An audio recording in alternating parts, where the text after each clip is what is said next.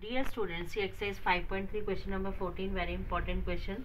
Find the sum of the odd numbers between 0 and 50. पहले 0 and 50 के बीच के odd numbers लिख लो।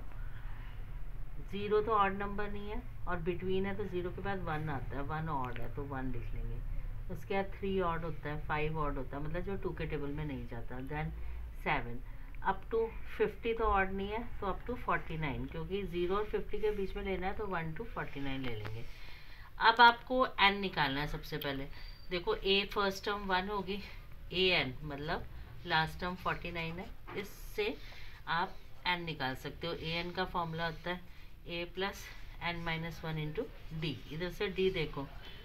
Common difference three minus one two या five minus three करोगे तो भी टू आएगा। Five minus seven minus five करोगे तो भी टू आएगा। ए एन है फोर्टी नाइन ए है वन एन आपको निकालना है एज इट इज़ रख दो माइनस वन डी की value two forty nine minus one is equal to N minus one into two forty eight two इधर ले आओ divide by two is equal to N minus one तो N minus one की value आ गई forty eight over two twenty four N की value आ गई twenty four plus one twenty five number of terms इनके बीच में कितनी है? ट्वेंटी फाइव है। ये इंपॉर्टेंट स्टेप है।